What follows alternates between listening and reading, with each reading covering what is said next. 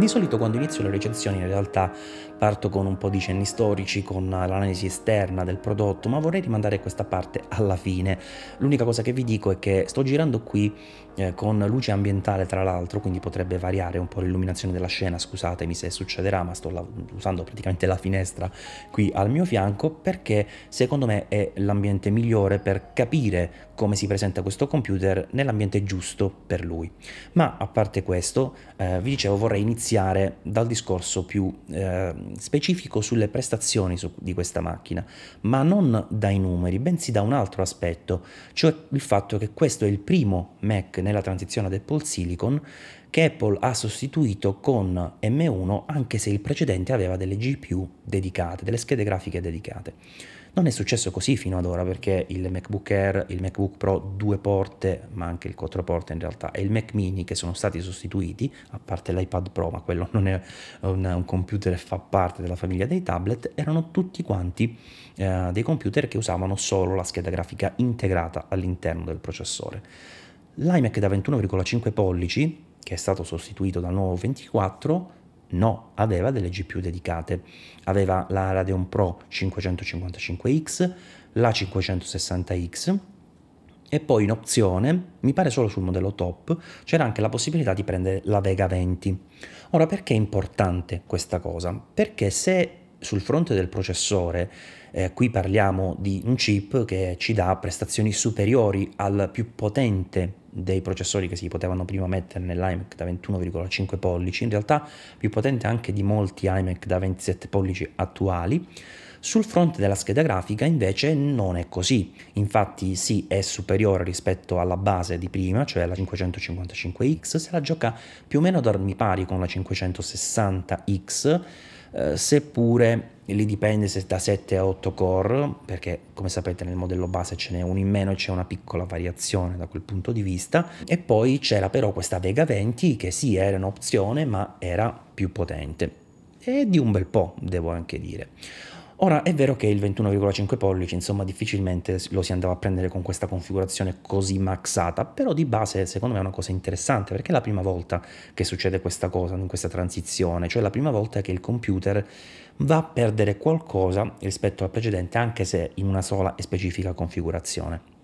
Spero che non succeda più, ma potrebbe essere anche solo una condizione temporanea, perché ad oggi sapete Apple ha solo questo sistema una chip che sta mettendo praticamente ovunque, ma sappiamo anche che entro la fine dell'anno quasi sicuramente uscirà un nuovo sistema una chip più potente, eh, a prescindere dal fatto che sia la grafica interna o esterna, perché quello conta poco, qui parliamo di 7-8 core, lì si dice almeno 16-32, poi potrebbero arrivare delle versioni con ancora più core sul fronte della GPU, quindi si andranno a superare anche molte schede grafiche che prima erano esterne, dedicate, insomma, quindi non fate il confronto interno-esterno che non c'entra sostanzialmente nulla. Eh, però dicevo, qui abbiamo di questa, um, questo, questa situazione che potrebbe essere transitoria perché con il futuro diciamo M1X Apple non solo potrebbe fare una nuova variante del Mac mini, i MacBook Pro più potenti e anche un iMac più grande, ma potenzialmente creare anche una versione più carrozzata dell'attuale iMac da 24 pollici. È plausibile, insomma. Quindi potrebbe essere una situazione temporanea, ma analizziamo quello che abbiamo oggi. Questa macchina, secondo me, rispetto al target eh, che aveva già prima, cioè quello dell'iMac da, 20, da 21,5 pollici, è una macchina comunque abbondante per la maggior parte degli utilizzi. Se fate, eh, diciamo appunto quell'uso standard che può essere ufficio, multimedia, eh, l'utilizzo insomma del browser, videoconferenze, quello che volete, è una macchina che va ovviamente al di là di quelle che possono essere le vostre necessità e che potrà avere anche un'ottima longevità. Se si tratta invece di eh, utilizzo per esempio in ambito professionale con l'audio, che sia Logic, che sia eh,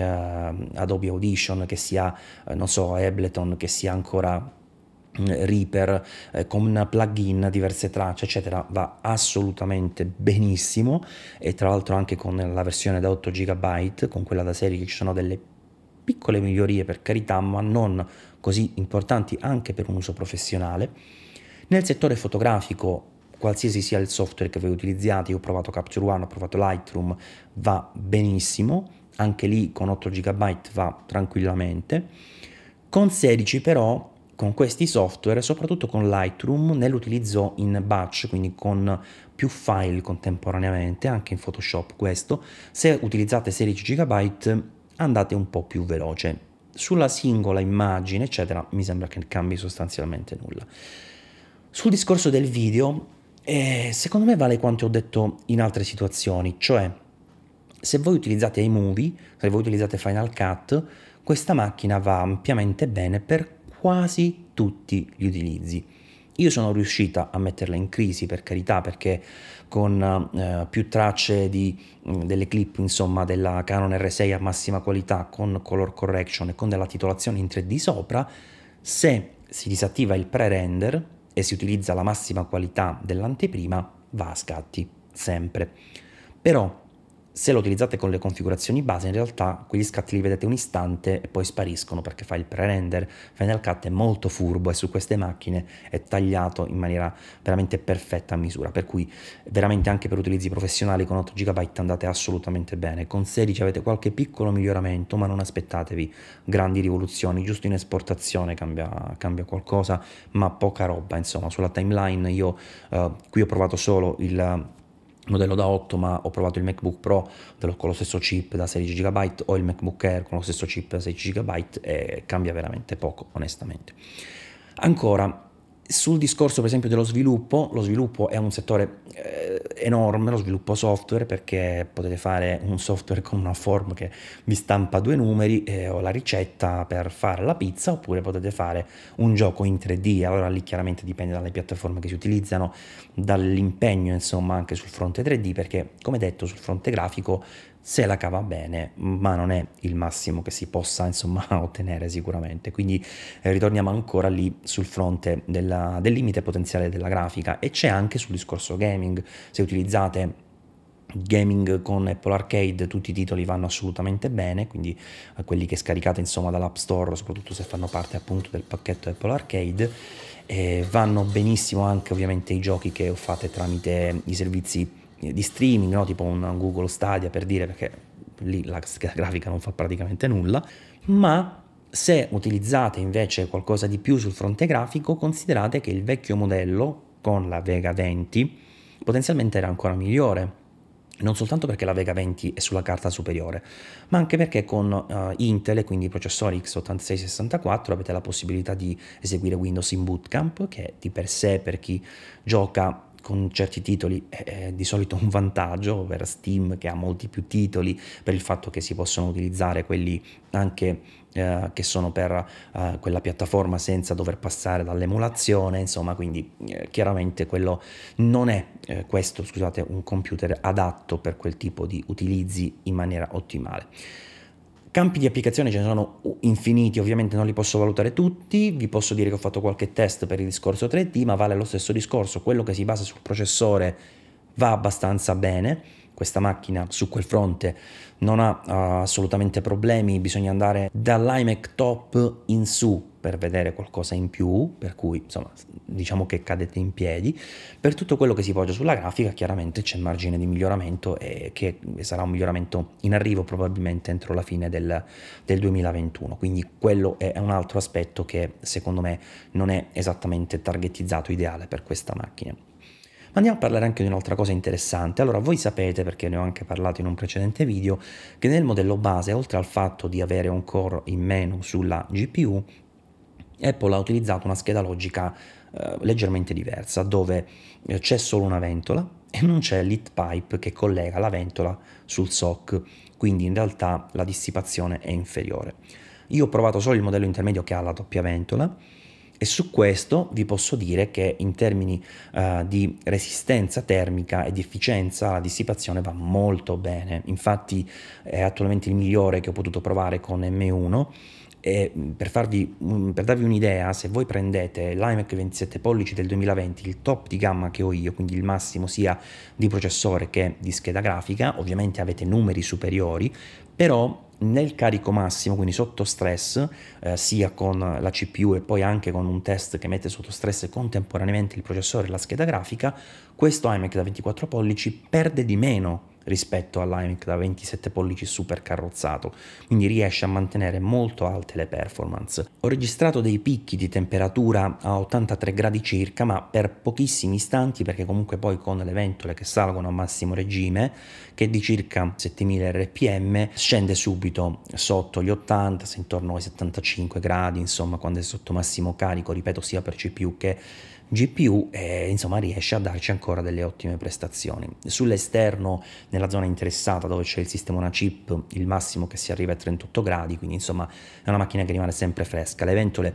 quando si sale un po' eh, già intorno ai 60 gradi mi pare iniziano ad avvertirsi, però non sono fastidiose, non è un rumore fastidioso. Considerate che sul modello base ovviamente la ventola deve partire prima e deve salire prima con i giri perché ovviamente ha una minore efficacia, sia perché da sola sia perché non c'è l'heat pipe. Quindi su quel modello aspettatevi un po' più di rumorosità e anche un minore mantenimento delle performance sotto carico. Però diciamo che per un utilizzo così medio, senza andare veramente uh, a stressare continuamente la macchina, quasi non noterete delle differenze. Infatti nel video che io ho girato per dire come eh, non mi è piaciuta questa decisione di Apple su questo computer, il mio dissenso era per Apple, non per il computer che insomma, come sapete io ho anche un MacBook Air che è completamente senza ventola e l'ho preferito proprio perché senza ventola sapendo che prende, perde qualcosa in, uh, in, prestazioni, però è completamente silenzioso e questa cosa mi, mi piace moltissimo.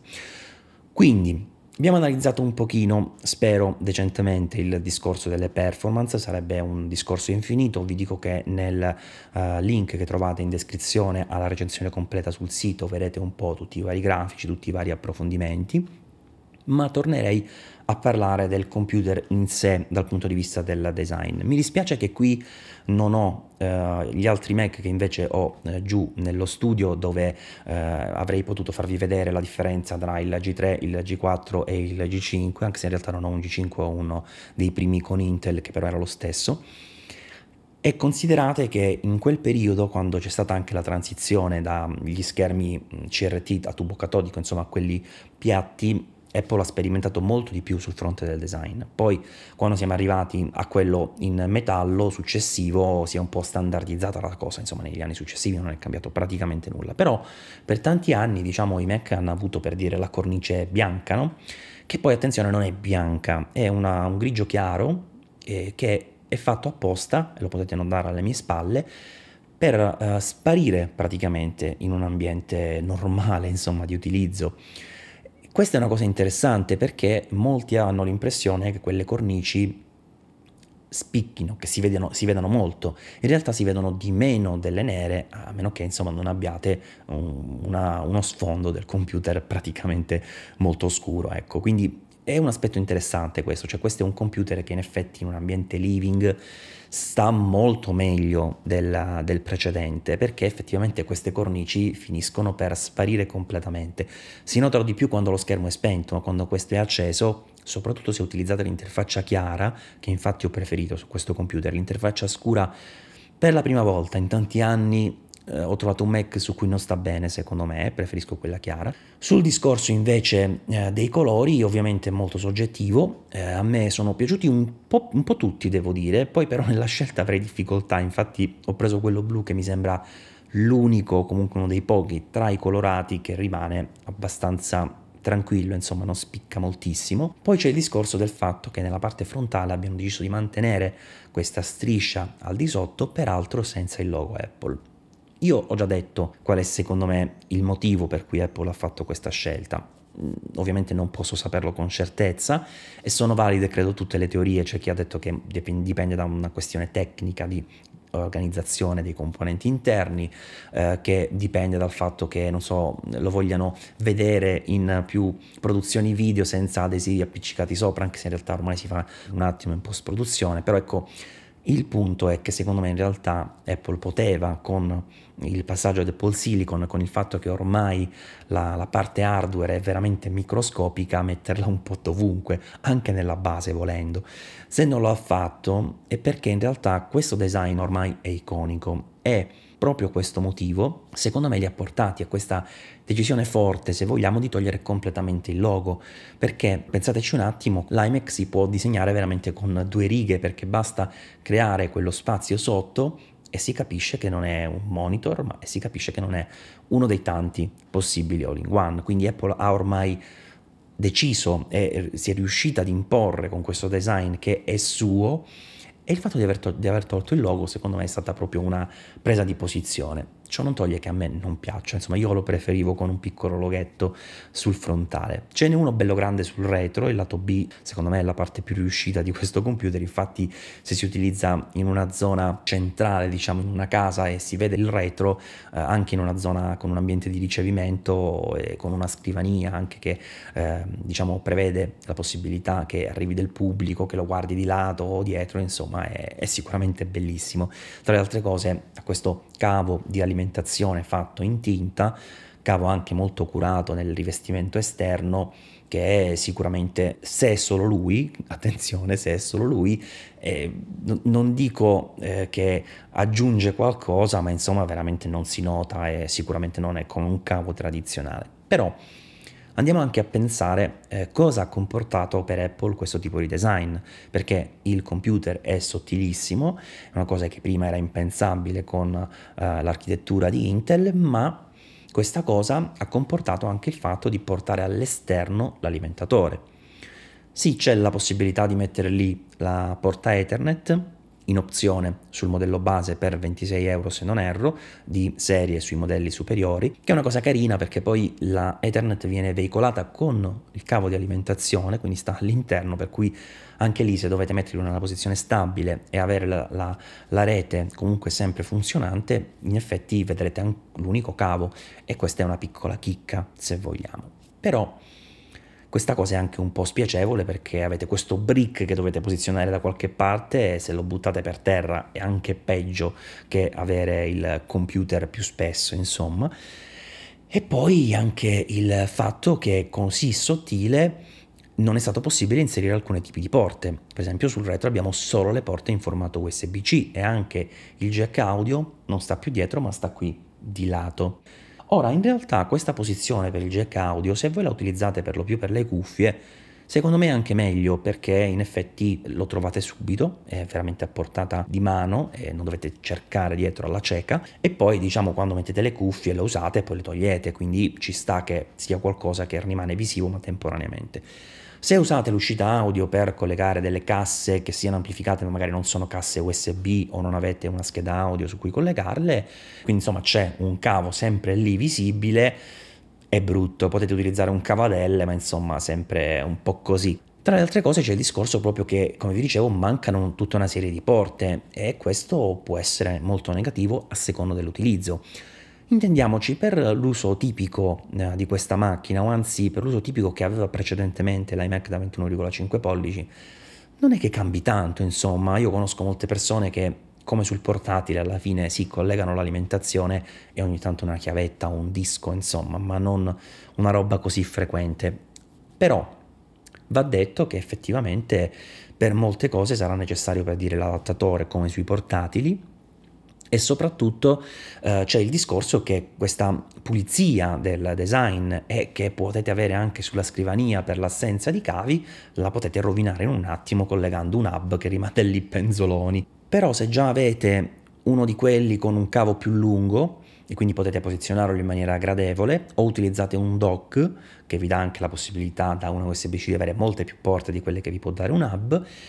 Ovviamente potete rendere la cosa un po' più graziosa, però poi il dock, sapete, ha dei costi abbastanza importanti rispetto al semplice hub che non richiede alimentazione, eccetera, eccetera, e quindi è un qualcosa che dovete considerare. Insomma, sul fronte connessioni qui siamo comunque abbastanza sul minimale, insomma, quindi va bene per chi non va tutto il giorno ad utilizzare delle cose esterne. Se dovete creare una postazione con tante cose connesse, alla fine l'unica soluzione sarà quella di avere un dock e gestirlo con i cavi in modo tale da non avere troppe cose un po' in mezzo alle scatole. Il Mac di per sé come linea onestamente bello, insomma, no? Eh, credo che sia molto riuscito, poi sì, in realtà questa è una cosa soggettiva, ma a prescindere da tutto c'è un aspetto che Apple secondo me ha fatto veramente con i piedi ed è l'ergonomia, perché da sempre questi iMac, anzi in realtà il G4 aveva quel bellissimo schermo orientabile, quindi lo mettevi praticamente dove volevi,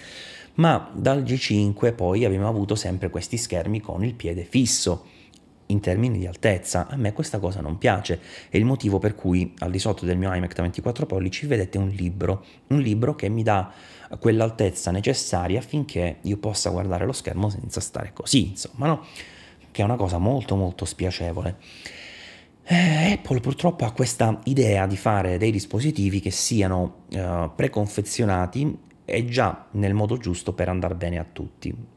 come fa un po' con gli auricolari AirPods, no? quelli senza commino intendo, no? gli AirPods Pro, perché lì hanno realizzato questo formato della, dell'auricolare che hanno studiato su non so quanti milioni di varianti di orecchie per andare bene più o meno a tutti.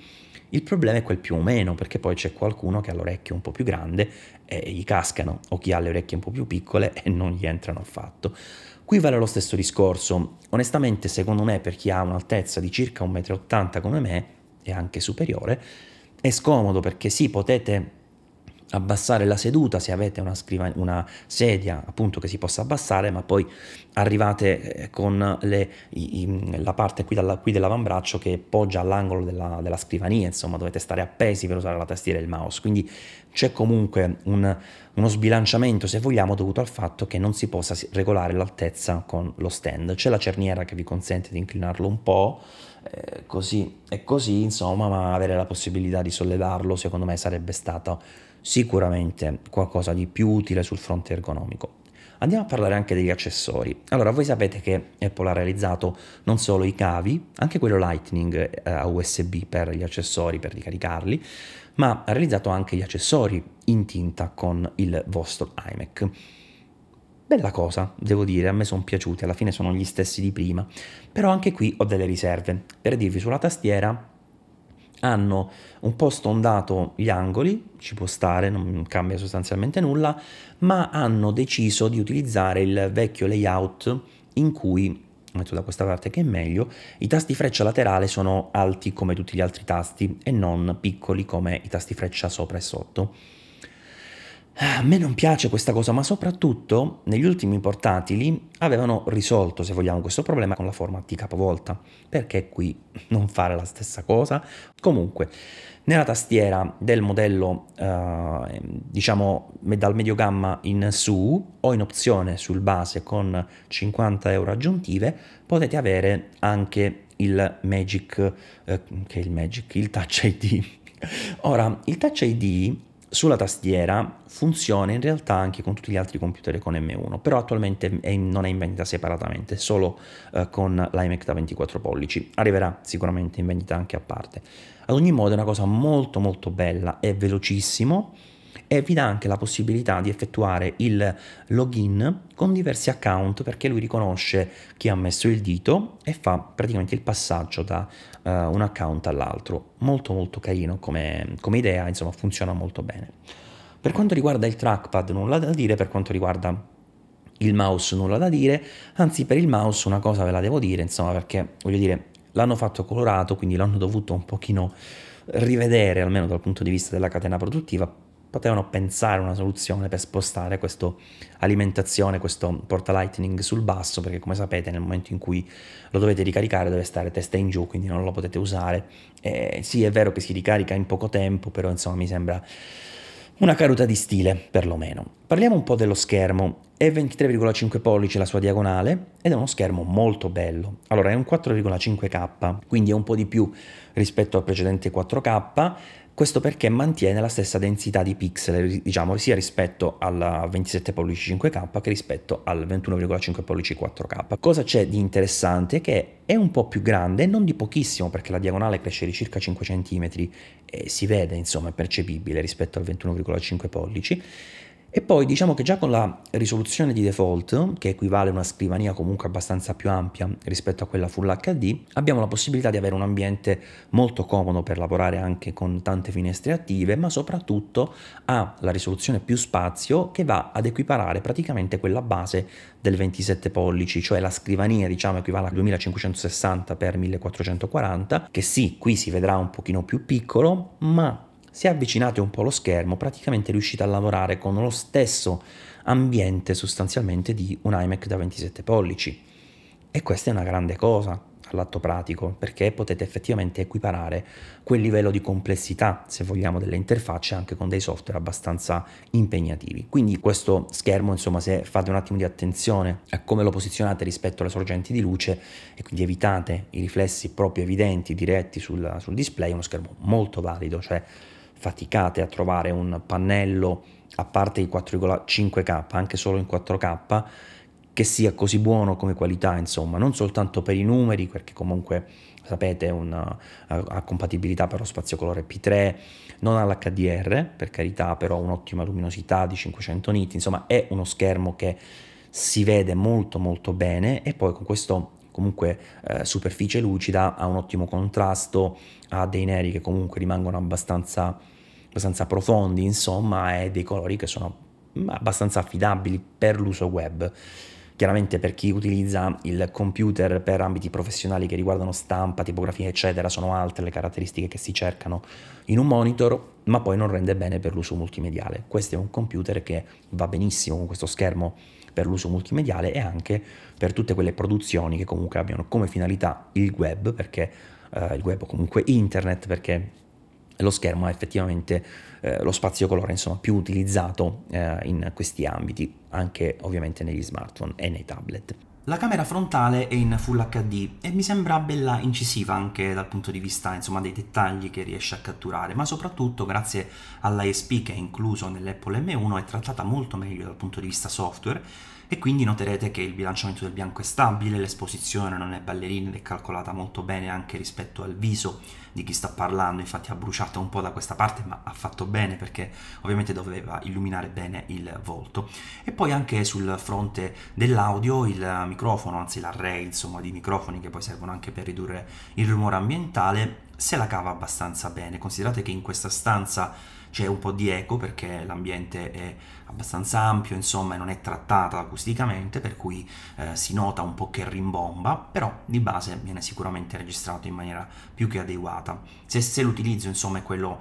eh, per fare una, una, call, insomma, una videoconferenza, già questo tipo di qualità sul fronte della, eh, del microfono e dell'immagine va assolutamente più che bene. Poi se siamo degli streamer professionisti, ovviamente metteremo una nostra fotocamera, metteremo anche eh, un microfono dedicato per avere una qualità ottimale, però di base insomma se la cava assolutamente bene. Le casse suonano anche abbastanza bene, ovviamente per quello che sono, cioè per quanto è sottile questo computer non ti aspetti il volume che hanno, perché Apple comunque ha sfruttato anche eh, lo spazio interno dietro lo schermo come cassa di risonanza, però ovviamente è un audio non da casse esterne dedicate di buona qualità, eh, quindi è un po' medioso, ad alto volume impasta un po' tutto quanto, quindi può distorcere un po'. Allora facce di merda, toccatevi le punte dei piedi! E toccate anche quelle degli altri! Cosa? Che dici?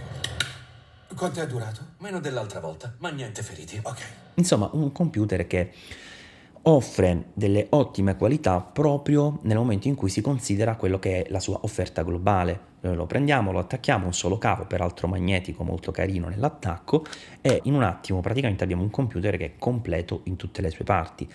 Più abbiamo necessità di ampliare la nostra postazione di lavoro con periferiche esterne e più perde senso questo pacchetto, insomma, no? Perché se iniziamo a dire, vabbè, per la fotocamera utilizzo una